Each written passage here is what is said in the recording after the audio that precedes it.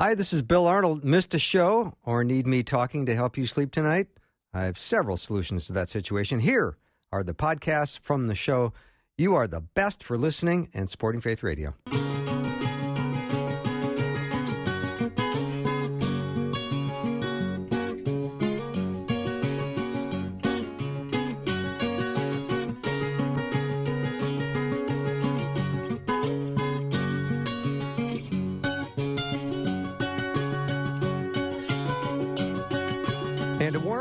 Afternoons with me. I'm Bill Arnold. I'm going to have a wonderful hour with Todd and Laura Mulliken. They're here in studio. Todd's a counselor and author and a speaker on marriage and families. It's kind of a marriage and family day today, a little bit, with the exception of uh, Rob Louie at the opening of the show.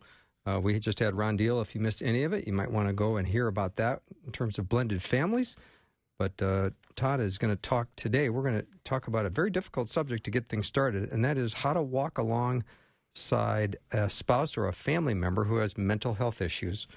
And uh, we're awfully glad to be able to address that topic uh, with a counselor like Todd and his wife, Laura. Welcome, both of you. Thank you so much, Bill. Thanks. So, how do we start this discussion? Well, I think we have to normalize the fact that, especially we've learned during COVID, the amounts of folks that normally battle mental health issues has even become more. So we have a 50% increase in people that have battled anxiety, a 44% increase in people that battle depression. And those are the two most common mental health issues in the world. Uh, both anxiety and depression are the most common. So I, I think it's, I'm always seeing in my office, Bill, folks that are battling with, you know, how can I support this person who, my spouse or family member that is really struggling with depression or anxiety? How do I walk alongside that? How do I be a Christ follower in that? And then also, I'm hearing from people that battle the mental health issue, how do I navigate my boundaries with my spouse or how do I tell them what I need or and it's just hard, you know, and so I think it's good to talk through that a little bit. And I thought it'd be just great to have my wife Laura come in, my wife of 33 years, Laura, come in and talk first just about her journey with depression and what that's been like for her and maybe have her speak to a little bit about what people need that are actually going through it. What do they need from their spouse or a family member that's most helpful? And then maybe uh, we can go from there. Yeah. I'd love to hear, Laura, your story. I um, grew up in a Christian family, loved Jesus, followed Jesus, uh, but never really talked a whole lot about emotions. Like we said, happy once a year when it was Easter. You know, we just kind of didn't um, emote much. Or um, you think about things, you don't feel things. It doesn't really matter how we feel about things. So I was kind of conditioned not to really be too in tune with my emotions or my feelings. And when uh, we had our third child, and I was about to, I was kind of in the process of stopping breastfeeding my third. And I remember as clear as a bell, we were out at a restaurant with uh, a man who was our best, he was in our, our wedding party, and just a great single guy. And I'm sitting in the restaurant with Todd, the three girls, and our friend Davy and I am watching these two manly men of God love my girls so well. And out of the blue, I started to cry. And I thought, this is weird. It's not like me at all. And um, I subsequently kind of unpacked that with Todd. And I said, I just feel so overwhelmed in this moment um, I'm I'm happy, but I'm sad at the same time. And come to find out, uh, after a check in with my physician, I was experiencing postpartum depression. But I didn't recognize it because it hadn't happened right after we had the our third daughter. And uh, that began a journey of trying to figure out how to navigate this mental health piece. Um, I would say generationally, there it's been present, but never really acknowledged in my family of origin. And mm-hmm. uh, Todd and and our church family, our small group, came around me in ways that were really life giving, and we can unpack that a little bit. Can I ask a question, Laura? Of course. When you saw Todd and Davy mm-hmm. loving on your girls, Yeah. were you responding to what you didn't receive? Like, look at the Oh. way they're treating mm. my girls. This didn't happen to me. That's a great. I- I would have loved for of it, loved for it to happen to me, but it didn't. Hmm. That is a great question and one I have never contemplated in all of these years. Okay.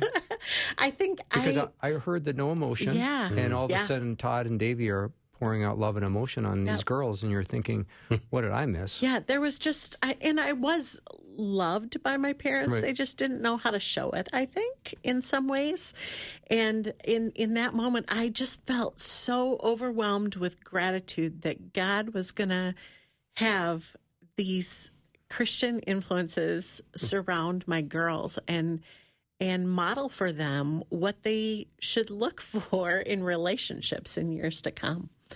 Um, yeah, that's a great question, Bill. I'll have to ponder that one. Get back to you. So, as the depression was navigating itself and you were working through it, what what are a couple of things you can help kind of the audience know what that was like for you? Um, like I said, I I didn't really uh, know how to recognize uh, my emotions very well because we. I was raised really pull yourself up by your bootstraps, and and you always do the next right thing, um, which is great and beneficial and good, and it doesn't uh, help you paint a full picture of how to live life to the fullest, right? And I would also say in our relationship, Todd is really heavy on grace. And I am more a truth teller, right? So, um, and the logic versus the feelings, those kinds of things to navigate. So, for him to ask me how I was feeling felt like um, and he didn't intend it in that way, but I, I can remember feeling like he's putting something on me or asking me to do something that I don't know how to do. Like I'm already having suicidal ideation at that point, and for me to have to unpack or figure out how to f- how I'm feeling felt really heavy in those moments. Um, thankfully he's patient and kind and gracious and uh, we figured out different language i think but that's something that people need to be aware of um, is um, kind of thinking through I, I would say i used to be really good at sympathy prior to experiencing depression now i'm better at empathy um, kind of trying to take the perspective of others does that make sense It does to me. Um, I'm thinking too, Laura, when you talk about this um, empathy in your family, everything was going to be okay, right? yep So pull yourself up by your bootstraps. But what if you stub your toe or you skin your knee and you know in your heart you're going to be fine and it's going to heal, but you just want to be held for an extra two minutes? And that's all. yep And if the only message was you're going to be fine and pull yourself up by your bootstraps, that hurts. It does. Um, and when you're raised in that kind of a family system, I think you you just know it as your normal. So you you it's like a fish in water, right? You don't it, it doesn't recognize that it's swimming in water because that is the environment that it lives in. Um, so I've had to relearn some of those things. And I would also say Todd and I, by the grace of God, right, uh, we have broken generational patterns and generational sin, even. Um, not that we did anything perfectly. Our girls could testify to that. but But we've got them in the other room right now. Come on, girls. Hey, but thanks we for sharing, have Bill. broken some of those patterns and those sin patterns of generations so that they are now equipped to do it a step better than we were raised. And hopefully they'll carry that trajectory forward. What do you think are, is something that you would say that uh, you you have needed the most? Um, whether I've been able to do that well or not. What do, what do you think somebody that's battling, especially as you know, depression is very episodic. So it doesn't mean the person who has depression is always depressed, but it, it comes in episodes. And so when the episode gets loud, it's so loud that nothing. It's just a fog. It's overwhelming. There's excessive guilt. There's feelings of hopelessness. You know all of that. So what do you think is most helpful? Things I would suggest people think about if they if they're battling. It doesn't have to be just depression. It might be bipolar episodes or other kinds of mental health struggles, mm-hmm. anxiety, perhaps. Um, I think to have safe spaces to have conversations, to talk through or think through how I might respond in the future when that depression has me bottom out again. Um, I believe in the power of prayer. I also believe that God has given us uh, medications mm. uh, and relationships and the body of Christ to be supports in those times. But I think when I'm in my right rational mind to think through what I, how I might respond if that seasonal depression kicks in again can be really beneficial. Right, talking about it ahead of time as a couple. So when the depression gets loud, we know this is to be most helpful. I guess I've noticed, you know, as your spouse, like the, one of the things that I work really hard at is trying not to fix it. Amen. or trying not to you know, work you through it, or here's yes. some plans. You know, just shut up, Todd, and take a breath, and let the Holy Spirit be your advocate and your. Because the person who's a caregiver with somebody that's dealing with mental health issues, that can be hard, overwhelming too. So you just want to love and walk. So the key, I think, is to validate what your spouse mm-hmm. is experiencing, right? Whether depression is loud or quiet, and to walk alongside and not to try to fix it. Yes. What would you say to that?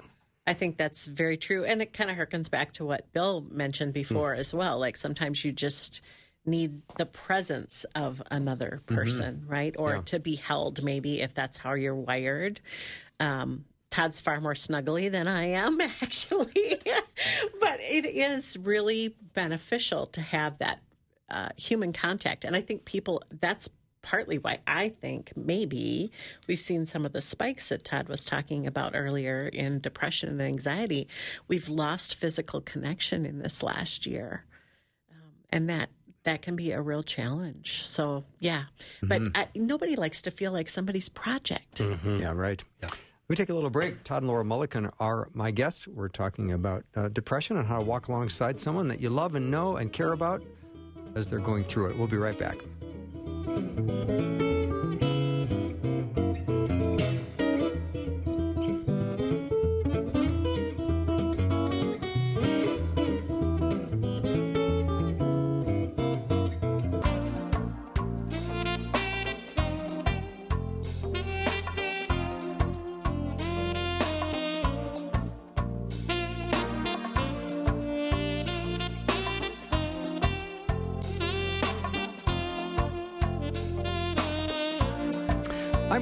Laura Mulliken. You know Todd from uh. We're talking about walking alongside a spouse or a family member who has mental health issues. And his wife Laura is nice enough and kind enough to be vulnerable to share some of her journey. And I just had a, a dear, dear listener say, I've experienced depression. And what Laura is describing makes me think of when I see others being able to enjoy other people. You wonder why you cannot and the tears come from why aren't I normal? Uh, that is so well stated. I remember when I was first on the journey of trying to figure out um, medication or therapy or uh, how is this going to work, and I ended up having a back injury at the same time as I was wrestling through depression and just coming to recognize it. And we were part of a covenant group of young couples all raising kids together. And they came and were Jesus with skin on to myself, to Todd, and to our three girls. They swooped in. I mean, just came in, scooped us up as a mm-hmm. family allowed Todd to continue working. My my back was such that I couldn't care, lift our daughters at that time, and they came in and held my baby when I couldn't. Um, they made meals. They scrubbed our bathroom within an inch of its life. Um, just took care of us. But I also remember going out to lunch with them um, a couple months into that process And the church, we're supposed to be the body for one another. And these loving, dear friends decided to treat me out to lunch one day. And we went out but this was a couple months in. And and i think we can be impatient. Like we we expect things to get better or or get a quick fix or if i'm on the road to recovery i should be done now right? And we're all good. And i think it had been a long journey for them watching me really wrestle with trying to adapt to medication or therapy or whatever. And as we sat at that lunch table in the sunshine, it felt as though, well intentioned, I'm certain, these dear friends uh, proceeded to kind of go around the table and come up with solutions for me. And I felt very much like a project or something broken to be fixed at that time. And um, I, I just think I, I talk with teens or hurting, difficult life situation people all the time in my uh, day job. And I often tell people instead of asking people, what is wrong with you? Ask what happened to you. Um, and I think that's that's been a huge learning for our whole family, honestly. I think our kids are wired that way better now too. So I understand when this woman says, I just I sit there and I I wish I could feel those joyful emotions in that moment when I'm in the depths of darkness. Um, but the truth is, I, I can't, but I have hope that that will come again. I have hope in Jesus that even though I might not be fully healed in this lifetime, I know that I will be healed at the resurrection completely and fully. And in the meantime, gosh, God is good and He is faithful and He is present, ever, ever present. So well said. And I think it's, I think as a church, Bill, I know when I was giving talks on anxiety maybe 25, 30 years ago, sometimes people would think it's, if we just don't worry, or you know, if we worry, we don't have enough faith, or it's it's more like just just fix this uh, and then we're set versus understanding that mental health issues are, are, very similar to physical health issues, right? Where some last uh, a very short period of time and it's healed fairly quickly because it's a very mild condition. Other people have very severe cases where it could be a lifelong kind of journey and process of some really great transformative moments and some really difficult wilderness times. And I think we just need to have understanding of how to not fix that, but walk alongside have compassion versus getting codependent on the reactions and trying to feel like we have to take something on and fix it. So, how do we get to validate what our spouse or family member is going through? And and maybe a couple of questions we can ask. What would you say, honey? A couple of questions like I could ask you, and mm. that are helpful questions to ask. Oh, I think it's so dependent on who the individual is. Mm-hmm. I I know after 33 years into mm-hmm. marriage right. that you do have my best interest at heart that you're not prying when you say how you doing? uh, but I think also for me as a thinker versus a feeler, you've learned like so what are you thinking about how how things are going this season versus asking me even how I'm feeling. Right. Um, can be really beneficial, but again, that's dependent on how people are wired. So knowing the uniqueness um, of your spouse, right, and how they're yeah, wired and how to walk alongside. For sure. Yeah. For sure. Yeah. So I think it's a journey, not a moment, and that's just helpful stuff for folks. Mm-hmm. I think the other thing I think would be good to deal with, though, Bill, too, is that how do we walk alongside a situation when our spouse or family member isn't acknowledging the, the, severe issues they have, you know, especially in the areas of depression or really crippling anxiety. I remember playing tennis with a friend of mine years and years and years ago, and he had a difficult, uh, he, he, had a call from his spouse, and his spouse um, said, you know, you guys got to stop playing tennis until our son gets there.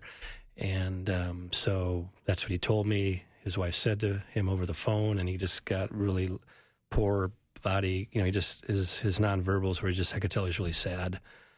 And I said, "What's going on?" He said, "Well, I just worry because my spouse worries so much. I mean, my my boy is 15 years old and he's two blocks away, and I'm just not worried. I think he'll be okay. But how do I tell her that I'm not worried, but I know she worries, but I know that her worry has been causing a lot of overprotection in the family, and how do I deal with that? Mm-hmm. So I told him, I said, I don't want to give you advice.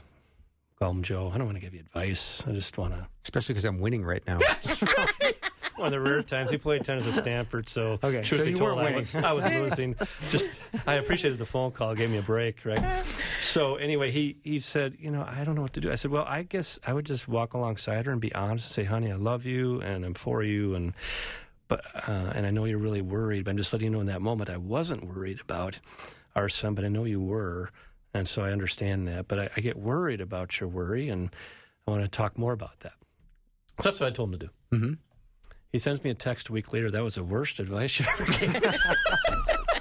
because it didn't go well, right? Yeah. You know, because it didn't go well. But what it helped him to do is just to learn how to come toward her and be honest about what he was experiencing versus staying passive and letting that untreated anxiety really control the family, if you will. So when her anxiety was loud, it was very controlling, and the kids were getting very frustrated. So it, it helped them get into the game, if you will, in Jesus to say, hey, how do we have honest conversations and address these mental health issues that are there? Mm-hmm. So I think it's really tricky, but just a couple of thoughts. I think the first thing to do is just really be honest with your spouse. If if you see like, hey, their father had crippling depression and now you're in a depressive episode, uh, honey, I'm worried. This is what I'm seeing, but what do you think? So create an honest conversation is one key and the honest conversation puts stuff on the table for future conversations, and let them, let them in about how this is ex- how you're being affected by it. But that I love you and I'm for you. But this is what I'm seeing. What do you think? So it's about creating volleys, but creating honest conversations. So Todd, I want to ask after the break if people have got this anxiety or some of this mental health issues. Uh, what are the odds that they're going to come forward and say, yeah, I, I think I really am struggling. I need help. And if they're not doing that, how much are you walking on eggshells? And that's got to be no fun. Todd Mulliken and Laura are, uh, Mulliken are in studio right now. We're talking about coming alongside people who self, suffer from mental health uh, issues and, and depression in, in general um, and anxiety. So we're going to take a break and we come back. If you have a question or comment, please let me know what it is. I'd love to hear from you. 877 933 2484. Again, 877 933 2484. Be right back.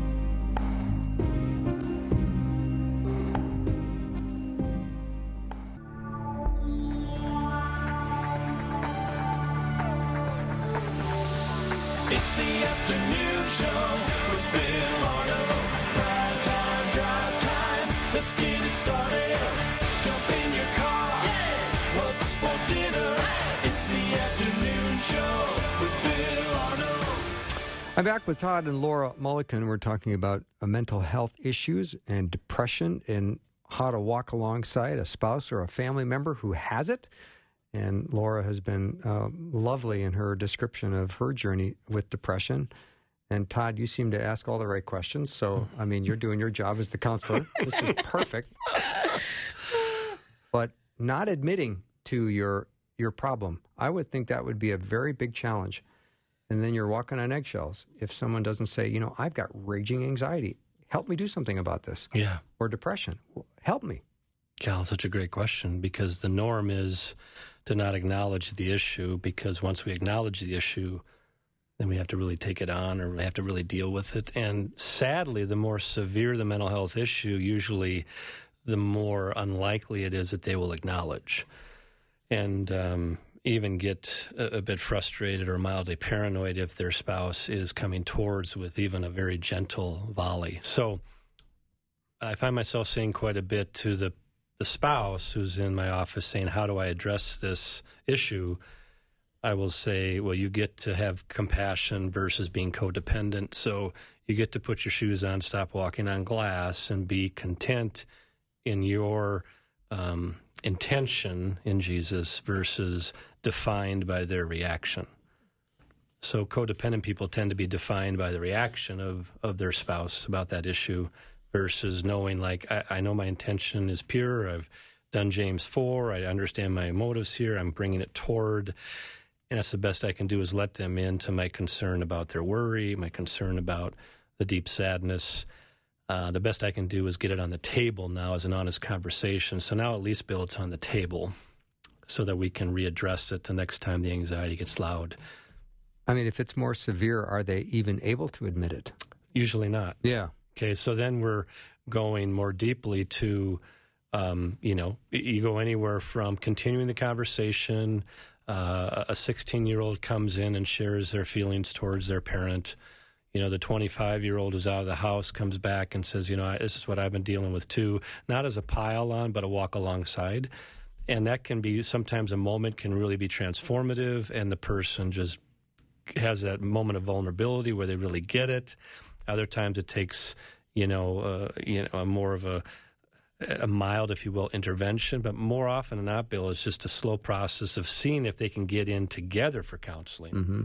So sometimes I've had that mental health issue person in my office along with their spouse who has finally got them in and we navigate the water slowly until they get comfortable with acknowledging you know the fact that they have this issue. So again it really depends. Yeah. And the whole thing is a family dynamic isn't it? It is. It creates dynamics within the whole system. Yeah. I mean you got a, yeah. a sibling that might think that the brother or sister is occupying all the oxygen in the house because of their condition and they're getting resentful. I mean, there's a lot of things to consider here, isn't there? There is. Yep. Each person needs to be able to, and that's why I, I do think I find myself saying to the parents, look, here's how this is impacting your kids. How do you know their own uniqueness now and come towards them with, hey, mom and dad are struggling, but here's what we're working on. How, and then ideally, the person who has a mental health issue who's now has opened opened the door a little bit they're saying, How are you doing with this? This is what I'm experiencing. How are you feeling? Is there anything you need? So, but a lot of that takes family counseling settings and openness to, to at least them acknowledging that there's an issue. So, again, sometimes you see a crack right away, Bill, where it's just a, a, situation that the person really breaks and feels like I've got to share. Other times it's honest conversations over a decade. You know, so it really depends on the situation. But I do think honesty today prevents problems tomorrow. So I don't think it works to just get into wishful thinking, avoidance, avoid, avoid, avoid, and it'll go away. I think address versus avoid. Not address every five minutes, but address and let them in and do it the very best you can with good intentions. Because now we're starting the conversation, and that's the only way we got a chance of changing that generational pattern mm-hmm. is to mm-hmm. address the mess. If you just jumped in your car, Todd and Laura Mulliken are my guests. We're talking about walking alongside someone who has mental health issues and depression. And Laura, I've been a little haunted since you had mentioned this lovely lunch you had outside with your uh, lady friends, and they all sort of took turns suggesting uh, what you might do to get yourself out of the funk you were in. And I thought, boy, I bet I've done that as well. Made suggestions as yeah. to how you might get fixed. Note to self that wasn't helpful. I think that is that can be really painful to be on the receiving end. Um, I and I know that I probably too have have done that uh, unintentionally. Right? I think we're so wired to, and, and as believers, we're so wired to see change, redemption, restoration, and I think it's important for us to acknowledge, like so many of your guests that come on, talk about how change happens over time or growth happens over time. And we are in such an instant gratification. Eh, you know, I want it now. I want to order it and have it in my house in mm-hmm. 12 hours, right. kind of a thing. And and this can be a long journey for people, much like grief, eh, right? It, it's it's a long walk in a direction toward Jesus um, over time. So for the church to be supportive of the whole family, like we had a church family who loved our kids really well.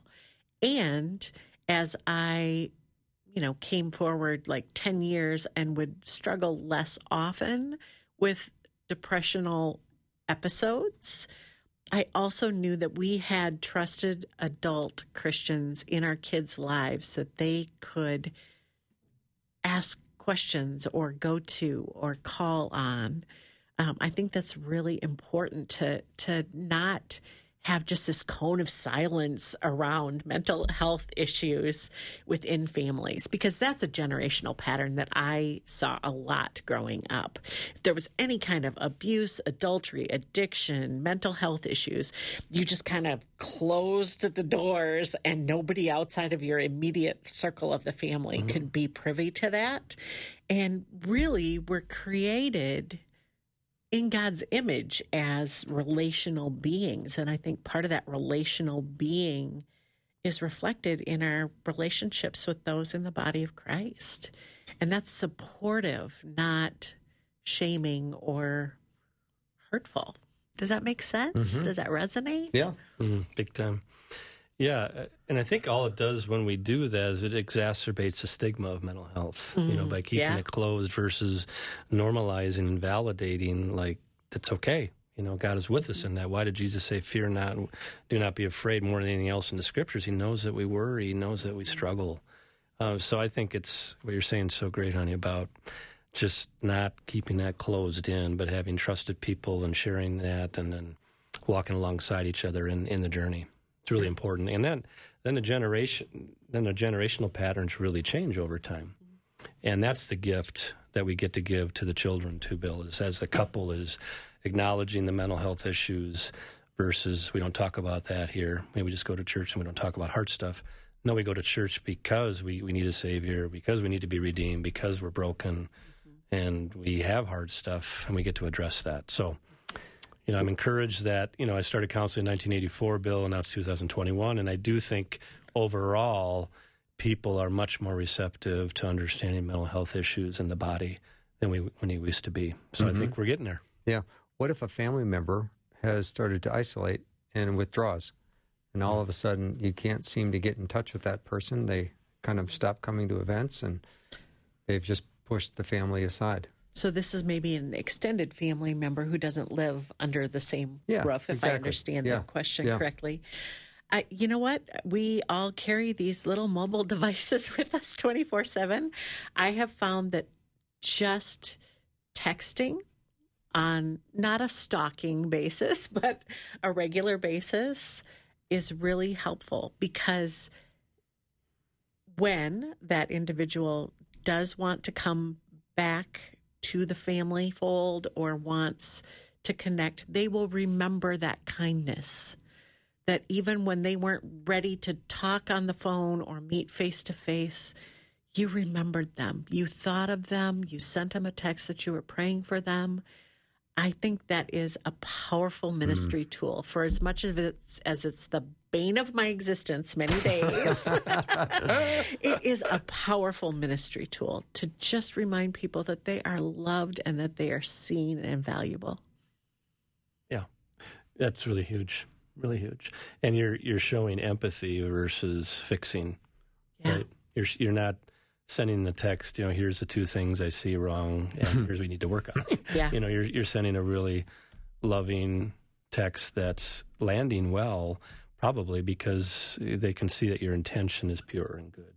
You're not trying to create you're not trying to create a situation where you're trying to fix it right there. Mm-hmm. And and I would say too, if this isn't uh, a family member if if they're not maybe willing to come to extended family gatherings, say a holiday, there can be a lot of pressures around holiday mm-hmm. things, especially if you're feeling stigmatized maybe with mental health things or addiction issues. And so try and throw out an invitation for a smaller uh, thing, maybe a coffee or is there something you need? Can I bring you groceries this week? Um, is there, you know, do you need a Target gift card? Are you out of toilet paper? How many times have we delivered toilet paper to people in the beginning of the pandemic because mm-hmm. nobody could find it, right? but that was a loving gesture at it one was. point in our history. So um, I think maybe those smaller invitations where you hopefully take some of the pressure off of them might be helpful. I like that. Yeah, more often than not, they're going into their places because they're really struggling life is overwhelming for them, and they may, there's a 50% chance at least, they have some kind of mental health issue that's overwhelming them that they're stuck in. So again, that walking alongside, you know, feeding, feeding them emotionally and spiritually is a great first move to to be Jesus with, you know, the, the skin in the hand of Jesus right there. Mm-hmm. But we just want to go and find the solution and we just think we're being helpful there. And just empathy always works right? So if i can if i've gone through that myself then i know like okay that's not what's going to be helpful. But if people have like your friends probably hadn't gone through some of that themselves or weren't aware that they were or whatever they just didn't know what to do. Yeah. So that's why it's nice to have venues like this where we can share about here's really what people need the most.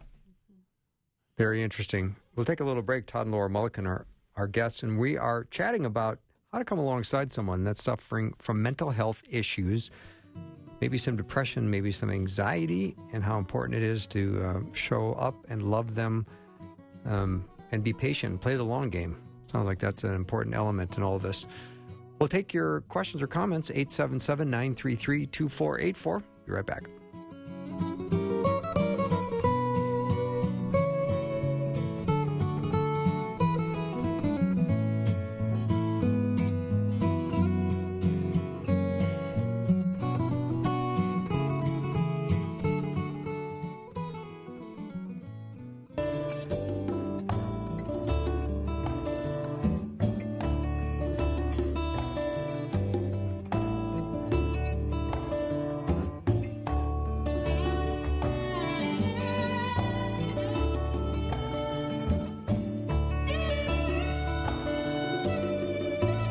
I'm back with Todd and Laura Mulliken. So nice to have you both in here at the same time. Mm. I, I found out Todd's a cuddler today. True statement. yeah, that's kind of disturbing. But anyway. oh, so good.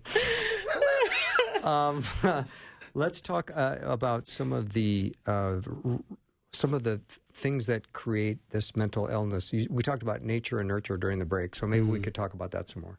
Yeah, I, I mean, we, have learned quite a bit about mental health issues, Bill, and the root causes. And typically there is a, a, genetic component to it, typically, where there's a bit of a predisposition to it. We've even learned that PTSD. Um, has is not just what we call a social construct only. In other words, if 10 people are exposed to the same trauma, not every one of those will have PTSD afterwards you know, a handful of them will, and some of that will be that initial bodily reaction to it due to their brain chemistry and their hardware. But then the nurture piece is the environmental uh, situations that they're involved in. So for, for Laura, the family system issues and just the dynamics within the family created a chronic stress that elongated the mental health concerns. So we have those nature and nurture issues that are going on. And that's why a lot of research talks about now these five main areas that we all get to pursue in trying to navigate through mental health issues. And it's not meant to say, hey, do these five things when we're all set. These are just five things that can help. Mm-hmm. And we call them the quote unquote wild five. The wild five, wild stands for wellness intervention for life demands. So the idea there is what can we do as Christ followers to address the mental health issues we have? And the first one is sleep optimization.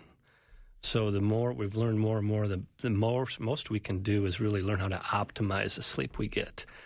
Um, when you're in a depressive episode, you either are oversleeping or undersleeping. That's a big problem. Some people that get depressed sleep 12 to 14 hours a day.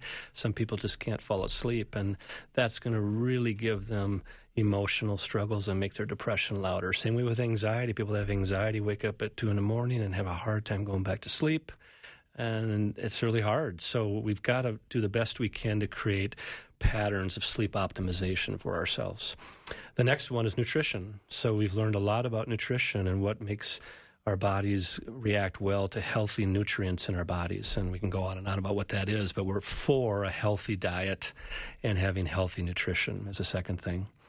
Another thing is um, the idea of mindfulness, and for us as Christians, prayer. You know, so are you and I creating times in our life every day where we got a practice of prayer, our quiet time where we're letting the Holy Spirit in, receiving the Spirit of truth, and advocating on our behalf, and going to Him as our wise counselor, knowing as Jesus loves us that how are we letting Him walk alongside us through this time? So are we creating that spiritual practice of regular prayer?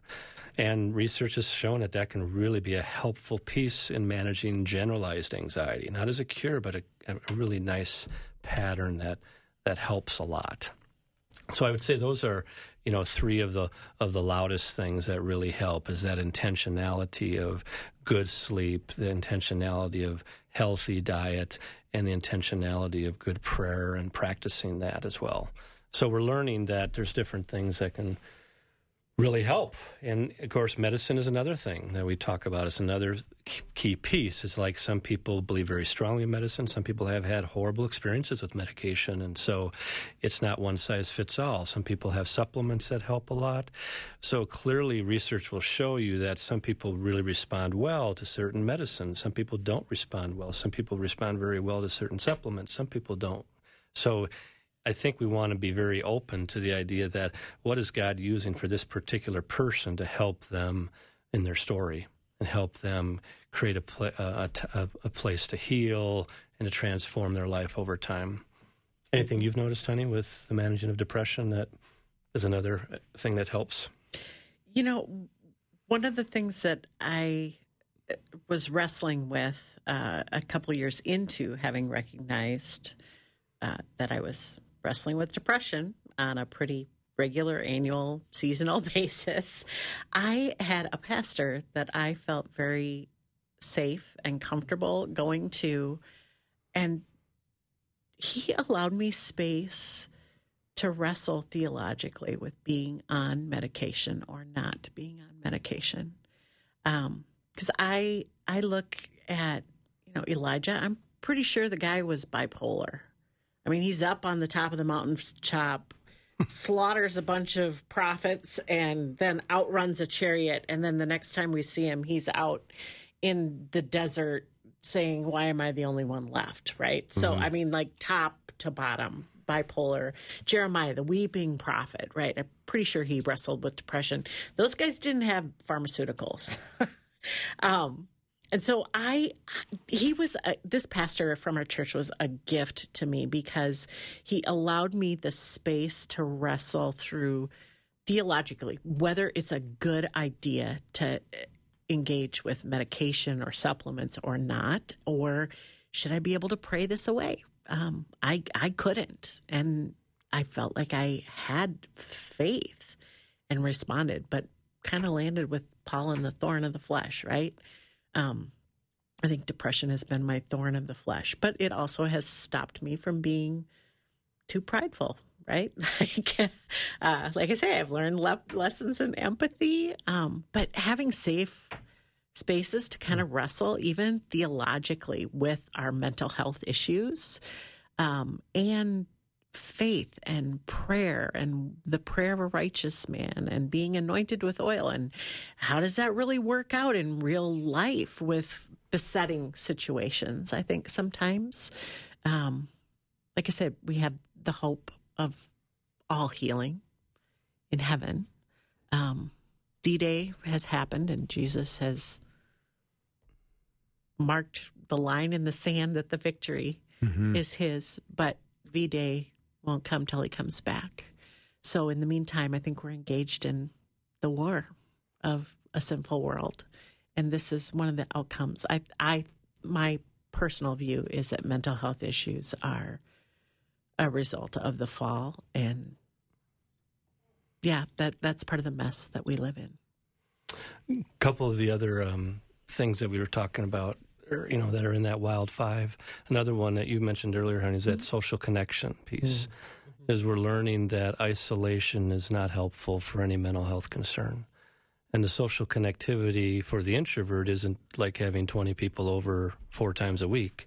It's more that one-on-one, and you've seen that, right, Hannah? Is yeah. more of an introvert. That one-on-one time of deep, you know, con- you know, deep conversation, good time together, just breaking bread. For me as an extrovert, it's been more the better, getting more connection with more people. So social connectivity would be the fourth of those five. And the fifth, of course, I remember about, oh, 30 years ago or so, whenever, because I'm really old now, but like, when do they use transparencies at uh, yeah. conferences? so anyway, so one of the first conferences I went to, you know, green back in the day, you know, like you said with your first guest, you know, you were in high school, right? With the yeah. 9-11, yeah. Yeah, yeah, yeah. Right, time. yeah. yeah. yeah. I keep thinking that. Yeah, it's great. So anyway, when I was, well, however old I was, I was at one of the first conferences and the guy said, hey, and this is a conference that was rolling out all the new medications and new um, ways that we can help with mental health issues, whatever, you know, just different approaches. And this person said, and here, I'm going to write on the transparency thing before he presses a button. Here is the most effective antidepressant of this year, 1995 or whatever. And he clicked on and it said exercise. Mm-hmm. So the last piece, I think, is how are you and I doing with having some type of regular exercise movement. And we're noticing whether it's a building up of endorphins and helping manage some of that serotonin depletion we have with depression, whatever it is, we're really attacking it with regular rhythms of you know any type of exercise that we're finding really important. So we're for all five of those areas, right? We're mm-hmm. for pursuing all those in Jesus and getting after that in our recovery. So if you're with a friend at lunch and that comes up, uh, the five things you just talked about, I don't think you're trying to fix anybody. You're just no. having conversation, right? Yeah, just letting them in to, hey, this is something I've been learning. Ideally, this is something I've been, you know, like for me, I struggle with some anxiety sometimes. So, I, you know, I can either let Laura in, gal, I find myself really worrying about this one issue, or I can take it out on her and just be crabby or be avoidant or, you know, so how am I letting her into what I'm experiencing, which is what I would say is a key per thing takeaway for the people that are struggling with the mental health issues? How are you letting your spouse into what you're experiencing?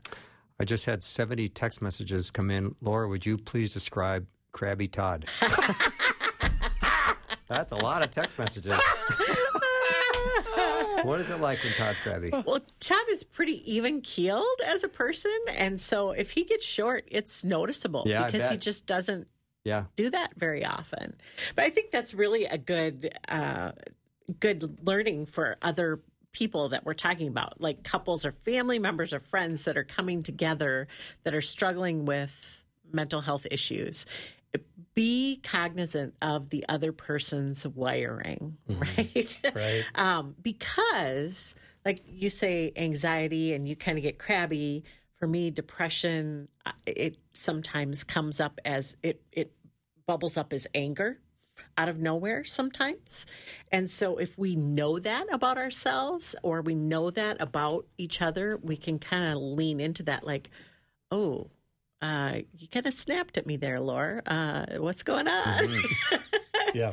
and if I can do my part and not be defensive in that response, I yeah. can apologize for my part or own my part, and then we can move yeah. forward. Laura, thank you for your vulnerability t- oh. today. It's been really nice having you here. And Todd, thank you so much as well.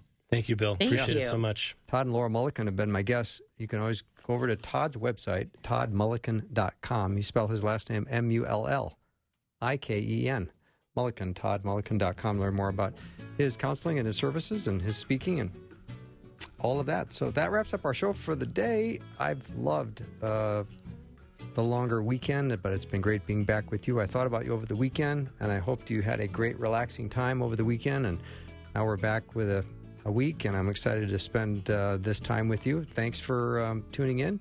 Thank you for supporting Faith Radio. I look forward already to, to tomorrow. We're going to have J. Warner Wallace on, and then Darrell B. Harrison is going to be with us on our um, Old Testament series with Dr. Peter Kapsner and I. That's all tomorrow. Have a great night, everyone. See you soon.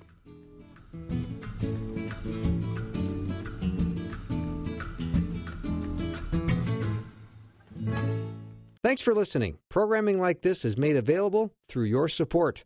Information available at myfaithradio.com.